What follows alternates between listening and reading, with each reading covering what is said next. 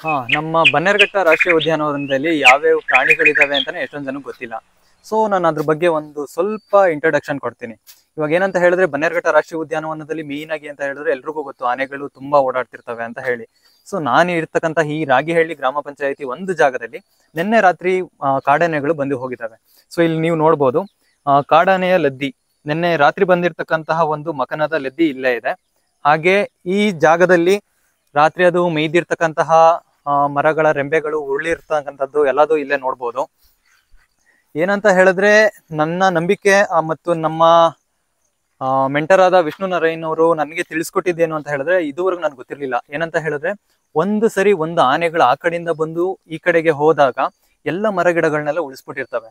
So ಅದನ್ನ ನಮ್ಮ normal ಜನಗಳು ಅಂದ್ರೆ ನಮ್ಮ ಕಾಮನ್ ಜನಗಳು ಏನಂತ ಹೇಳ್ತಾರೆ ಅಂತ ಹೇಳಿದ್ರೆ ಆ ಆನೆ ಬಂತು ಎಲ್ಲ ಮರಗಳನ್ನೆಲ್ಲ ಉಳಿಸ್ಬಿಟ್ಟೊಂಡಾಯ್ತು ಕಾಡ್ ಆನೆನೆ ಹಾಳು ಮಾಡ್ತಿದ್ಯಲ್ಲ ಅಂತ ಹೇಳ್ತಿರ್ತಾರೆ.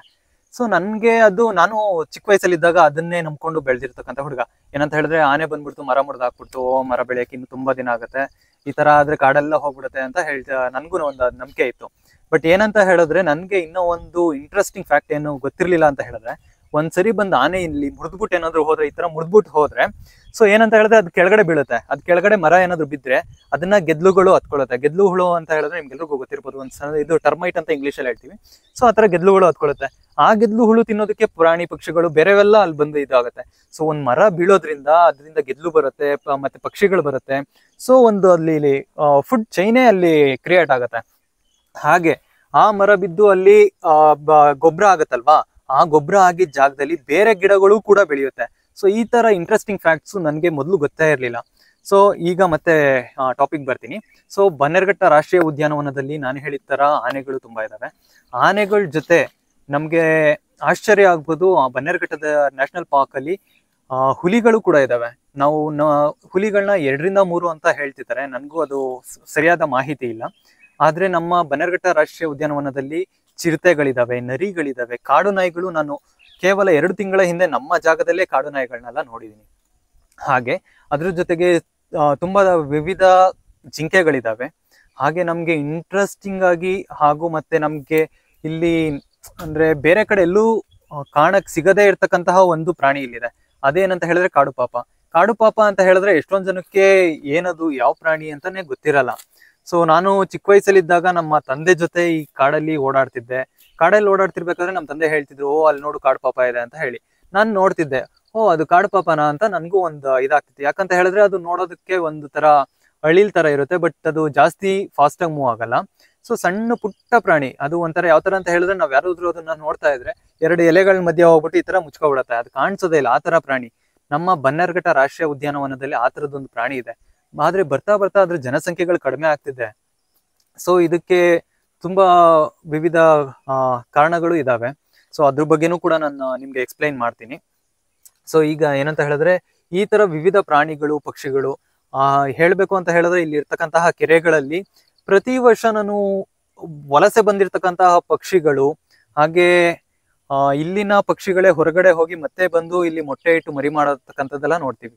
ನಾವೇನಂತ ಹೇಳಿದ್ರೆ ಈ ತರ ಪಕ್ಷಿಗಳನ್ನ ನೋಡೋದಕ್ಕೆ ರಂಗಂತಿಟ್ಟು ಆ ತರ ಎಲ್ಲ ಹೋಗ್ತಾ ಇರ್ತೀವಿ. ಬಟ್ ಬನ್ನೇರ್ಘಟ್ಟದಲ್ಲೂ ಕೂಡ ಬನ್ನೇರ್ಘಟ್ಟ ಸುತ್ತಮುತ್ತಲ ಇರ್ತಕ್ಕಂತಹ ಕೆರೆಗಳಲ್ಲಿ, ನೀರ್ ನೀರ್ತಕ್ಕಂಥ ಜಾಗದಲ್ಲಿ ಹಾಗೂ ಕಾಡಿನಲ್ಲಿ ವಿವಿಧ ಪ್ರಾಣಿ ಪಕ್ಷಿಗಳಿದಾವೆ. ಸೊ ಆ ಪಕ್, ಪ್ರಾಣಿ ಪಕ್ಷಿಗಳು ನಮ್ಗೆ ಅದ್ರ ಮಹತ್ವಗಳು ತಿಳಿತಿಲ್ಲ. ಅದೇ ನಮ್ಗೆ ಬೇಸರ ಆಗ್ತಿರೋದು.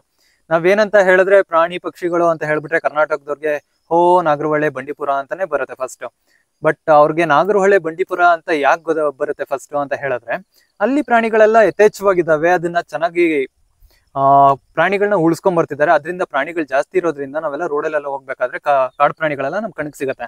ಸೊ ಅದಕ್ಕೆ ನಾಗರಹೊಳೆ ಬಂಡೀಪುರ ಮಾ, ಅಂದ್ರೆ ಮಾತ್ರ ವೈಲ್ಡ್ ಲೈಫ್ ಅನ್ನೋ ಒಂದು ಕನ್ಕ್ಲೂಷನ್ ಬಂದ್ಬಿಟ್ಟಿದ್ದಾರೆ ಇವಾಗ ಎಷ್ಟೊಂದು ಜನ. ನಾನು ಎಲ್ಲಿ ಆದ್ರೆ ಬನ್ನರ್ಘಟ್ಟದಲ್ಲೂ ಕೂಡ ಪ್ರಾಣಿಗಳಿದಾವೆ. ಬನ್ನರ್ಘಟ್ಟದಲ್ಲೂ ಕೂಡ ಜೀವ ಸಂಪನ್ಮೂಲ ಹಚ್ಚಿ ಹರಿದಾಡ್ತಿದೆ ಅದು. ಏನು ಹೇಳಬೇಕು ಅಂತ ಹೇಳಿದ್ರೆ ಬನ್ನೇರ್ಘಟ್ಟದಲ್ಲಿರೋ ಪ್ರಾಣಿ ಪಕ್ಷಿಗಳು ಹೊರಗಡೆ ಅವ್ರಿಗೆ ಯಾಕೆ ಗೊತ್ತಾಗ್ತಿಲ್ಲ ಅಂತ ಹೇಳಿದ್ರೆ ಫಸ್ಟ್ ಒನ್ ಇಲ್ಲಿರ್ತಕ್ಕಂತಹ ಪ್ರಾಣಿಗಳ ಸಂಖ್ಯೆ ಕಡಿಮೆ ಇದೆ. ಪ್ರಾಣಿಗಳ ಸಂಖ್ಯೆ ಕಡಿಮೆ ಯಾಕಿದೆ? ಯಾಕಿದೆ ಅಂತ ಹೇಳಿದ್ರೆ ಇಲ್ಲಿ ಪ್ರಾಣಿಗಳಿಗೆ ತಿನ್ನೋದಕ್ಕೆ ಸರಿಯಾದ ಆಹಾರ ಇಲ್ಲ. ಅದು ಹಾಗೂ ಅವು ಒಂದು ಜಾಗದಲ್ಲಿ ಇರಬೇಕು ಅಂತ ಹೇಳಿದ್ರೆ ಅವಕ್ಕೆ ಅಲ್ಲಿ ಸೇಫ್ ಅಂತ ಅನ್ಸ್ಬೇಕು. ಎಲ್ಲಿ ಹ್ಯೂಮನ್ ಆಕ್ಟಿವಿಟೀಸ್ ಜಾಸ್ತಿ ನಡೀತಿರುತ್ತೋ ಅದಕ್ಕೆ ಆ ಯಾವ ಪ್ರಾಣಿಗಳಿಗೂ ಅದು ಸೇಫ್ ಅನ್ಸಲ್ಲ. ಸೊ ಜಾಸ್ತಿ ಎಲ್ಲಿ ನಮಗೆ ನಮ್ಮ ಹಿರಿಯವರು ಹೇಳ್ತಿದ್ರು ನಾ ಮಂಚ ನೋಡ್ಕೋಗಿದ್ ಕಡೆ ಗರ್ಕೆಗೆ ಹುಲ್ಲು ಕೂಡ ಬೆಳೆಯಲ್ಲ ಅಂತ ಹೇಳ್ತಿರ್ತಾರೆ. ಅಂತ ಹೇಳಿದ್ರೆ ಗರ್ಕೆ ಹುಲ್ಲು ಬೆಳಿಲಿಲ್ಲ ಅಂತ ಹೇಳಿದ್ರೆ ಅಂತ ಜಾಗದಲ್ಲಿ ಪ್ರಾಣಿ ಪಕ್ಷಿಗಳೆಲ್ಲ ಹೇಗಿರುತ್ತೆ?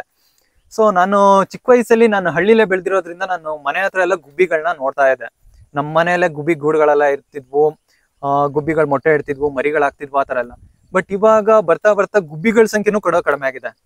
ಗುಬ್ಬಚ್ಚಿಗಳ ಸಂಖ್ಯೆಗಳು ಯಾಕೆ ಕಡಿಮೆ ಆಗಿದೆ ಅಂತನೂ ಕೂಡ ಹಲವಾರು ತರ ತರದ ಸಂಶೋಧನೆಗಳೆಲ್ಲ ಮಾಡ್ತಾ ಇದ್ದಾರೆ. ಬಟ್ ನನ್ನ ಪ್ರಕಾರ ಏನು ಅಂತ ಹೇಳಿದ್ರೆ ಗುಬ್ಬಚ್ಚಿಗಳಿಗೆ ಬೇಕಾದಂತಹ ವಾಸ್ತ, ವಾಸಸ್ಥಳ ಹಾಗೂ ಬೇಕಾದಂತಹ ಒಂದು ಜೀವನ ನಡೆಸಬೇಕಾದ್ರೆ ಯಾವ ರೀತಿ ಒಂದು ನಮಗೆ ಎಲ್ಲ ಕಂಫರ್ಟ್ ಝೋನ್ ಇರುತ್ತೋ ಆ ಥರದ್ದೊಂದು ಝೋನ್ ಇಲ್ಲ ಅವಕ್ಕೆ ಈವನ್ ಇವಾಗ ನಾವು ಫೈವ್ ಜಿ ಫೋರ್ ಜಿ ಆ ಥರ ಎಲ್ಲ ಮೊಬೈಲ್ಸ್ ಆ ಥರ ನೆಟ್ವರ್ಕ್ಸ್ ಎಲ್ಲ ಎಲ್ಲ ಕಡೆ ಹಾಕಿ ಹೋಗ್ತಿರ್ತೀವಿ. ಎಲ್ಲಾದ್ರೂ ಒಂದು ಗುಂಡಿಗೆ ಹೋದ್ರೂ ಸಾಕು, ಅಲ್ಲಿ ನೆಟ್ವರ್ಕ್ ಸಿಕ್ಕಿಲ್ಲ ಅಂದ್ರೆ ಅಲ್ಲೊಂದು ನೆಟ್ ಇದು ಟವರ್ ಹಾಕ್ಬಿಡು ಅಂತ ಹೇಳ್ತೀವಿ. ಸೊ ಅದರಿಂದ ಬೇರೆ ಯಾರಿಗೆ ಏನು ತೊಂದರೆ ಆಗ್ತಿದೆ ಅನ್ನೋದು ನೋಡೋದೇ ಇಲ್ಲ. ಮನುಷ್ಯನ್ಗೆ ಏನಪ್ಪ ಅವನು ಲೈಫ್ ಸ್ಟೈಲ್ ಈಸಿಯಾಗಿರಬೇಕು ಅಷ್ಟೇ. ಸೊ ಬೇರೆಯವ್ರು ಹೇಗಾದ್ರೂ ಸಾಯ್ಲಿ. ಅದರಿಂದ ನಾವು ನಮ್ಮ ಮನುಷ್ಯನ್ಗೆ ಏನು, ಏನಾದ್ರೂ ತೊಂದರೆ ಆಗ್ತಿದೆ ಅನ್ನೋದೇ ಗೊತ್ತಾಗಲ್ಲ ಮನುಷ್ಯನ್ಗೆ. ಬಟ್ ಏನಂತ ಹೇಳಿದ್ರೆ ಈ ಮೊಬೈಲ್ ಟವರ್ಸ್ ಗಳಿಂದ ಹಲವಾರು ಪಕ್ಷಿಗಳಿಗೆ ತೊಂದರೆ ಆಗೋಗಿದೆ ಆಲ್ರೆಡಿ ಇವಾಗ ಗುಬ್ಬಚ್ಚಿಗಳು ಅದೆಷ್ಟು ಕಡಿಮೆ ಆಗಿದೆ ಅಂತ ಅದೇ ಹಳ್ಳಿ ಜನಕ್ಕೆ ಗೊತ್ತು. ಯಾಕಂತ ಹೇಳಿದ್ರೆ ಹಳ್ಳಿಗಳು ಗುಬ್ಬಚ್ಚಿಗಳನ್ನು ಕೂಡ ನಮ್ಮ ಮನೆಯ ಒಬ್ಬ ಸದಸ್ಯರಾಗಿನೇ ಮೊದಲು ಟ್ರೀಟ್ ಮಾಡ್ತಾ ಇದ್ರಿ ಇವಾಗ. ನಮ್ಮ ಅಜ್ಜ, ಅಜ್ಜಿ ಎಲ್ಲ ಈಗಲೂ ಹೇಳ್ತಾರೆ, ಅಯ್ಯೋ, ಗುಬ್ಬಚ್ಚಿಗಳಿಲ್ಲ, ಎಷ್ಟು ಮೊದಲಾಗಿದ್ದಿದ್ರೆ ಚೆನ್ನಾಗಿ ಕೂಕೊಂಡು ಮನೆಯಲ್ಲೆಲ್ಲ ಇರ್ತಿದ್ವು ಅಂತ. ಬಟ್ ಇವಾಗ ಅವ್ರ ಮಾತು ಕೇಳೋದಕ್ಕೆ ನಮ್ಗೆ ಬೇಜಾರಾಗುತ್ತೆ. ಈ ತರ ಎಲ್ಲ ಆಗ್ತಿದೆ ಅಂತ ಹೇಳಿದ್ರೆ ಟೆಕ್ನಾಲಜಿ ಇಂಪ್ರೂವ್ ಆಗ್ತಿದೆ. ಅದು ನಮಗೂ ಖುಷಿನೇ. ಟೆಕ್ನಾಲಜಿ ಇಂಪ್ರೂವ್ ಆಗ್ಬೇಕು. ಮನುಷ್ಯನ ಕೆಲಸಗಳೆಲ್ಲ ಈಸಿನೂ ಕೂಡ ಆಗ್ಬೇಕು. ಮನುಷ್ಯನ ಕೆಲಸಗಳೆಲ್ಲ ಈಸಿ ಆಗ್ಬೇಕು ಅಂತ ಹೇಳಿದ್ರೆ ಕಾಡು ಪ್ರಾಣಿಗಳನ್ನೆಲ್ಲ ಸಾಯಿಸ್ಬಿಟ್ಟು ನಾವು ಮೇಲ್ಗಡೆ ಬರ್ಬೇಕು ಅಂತ ಏನಿಲ್ವಲ್ವಾ? ನಾವು ಕಾಡು ಪ್ರಾಣಿಗಳು ಎಲ್ಲ ಒಟ್ಟಿಗೆ ಬೆಳೆದ್ರೆ, ಒಟ್ಟಿಗೆ ಬದುಕಿದ್ರೆ ಒಂದು ಅದೊಂದು ನಮ್ಮ ಭೂಮಿ ಕೂಡ ಒಂದು ಒಳ್ಳೆ ಸ್ಥಳ ಆಗಿ ಕನ್ವರ್ಟ್ ಆಗತ್ತೆ. ಇಲ್ಲ ಅಂತ ಹೇಳಿದ್ರೆ ಇವಾಗ ನಾವು ನಮ್ಗೆ ಗೊತ್ತಿರೋ ಪ್ರಕಾರ ಆಲ್ರೆಡಿ ಮಾರ್ಸ್ಗೆ ಹೋಗ್ಬೇಕು ಮೂನ್ಗೆ ಹೋಗ್ಬೇಕು ಅಂತ ಎಲ್ಲ ಟ್ರೈ ಮಾಡ್ತಿದ್ದಾರೆ. ಅಲ್ಲೊಂದು ಇನ್ನೂ ಒಂದು ಭೂಮಿನೇ ಕ್ರಿಯೇಟ್ ಮಾಡ್ಬೇಕು ಅನ್ನೋ ಒಂದು ಐಡಿಯಾಗೆಲ್ಲ ಬಂದ್ಬಿಟ್ಟಿದ್ದಾರೆ. ಸೊ ಆ ಇಲ್ಲಿ ಐಡಿಯಾ ಯಾಕೆ ಬರ್ತಿದೆ ಅಂತ ಹೇಳಿದ್ರೆ ಒನ್ ಆಫ್ ದಿ ರೀಸನ್ ಏನ್, ಏನಂತ ಹೇಳಿದ್ರೆ, ಈ ಭೂಮಿ ಶಾಶ್ವತವಾಗಿ ಅಂತ ಇರೋದಿಲ್ಲ. ನಮ್ಮ ಮನುಷ್ಯ ಮಾಡ್ತಿರ್ತಕ್ಕಂತಹ ಆಕ್ಟಿವಿಟೀಸ್ ನೋಡ್ತಾ ಇದ್ರೆ, ಈ ಭೂಮಿ ಸ್ವಲ್ಪ ವರ್ಷಗಳಷ್ಟೇ ಉಳಿಯುತ್ತೆ ಅಂತ ಹೇಳ್ಬೋದಷ್ಟೇ.